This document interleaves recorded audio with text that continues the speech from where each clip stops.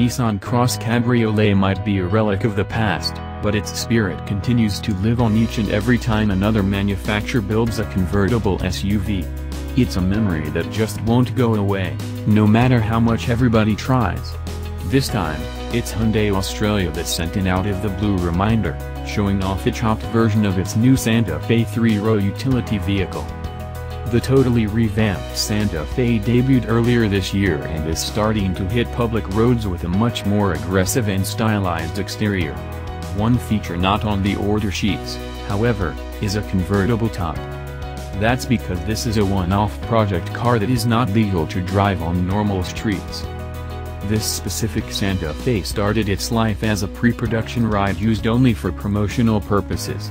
The roof was removed for better access to take top-down photos of the interior, and this particular Santa Fe was set to be crushed at a later time. However, auto publication CarAdvice found out about the peculiarity and finessed Hyundai into offering a test drive on a private closed circuit. Any impressions are for naught, however, considering the vehicle is not headed for production, and this Santa Fe was not set up to be driven. That means the Land Rover Evoque remains the only drop-top high-top vehicle that is currently available for purchase. As a manufacturer that strictly makes utility vehicles, Land Rover is okay with creating SUVs with less practicality, like the convertible Evoque and the coupe-like Velar, to offer some variety. Or, for those feeling frisky, cross cabriolets can easily be found for less than $20,000. The choice is yours.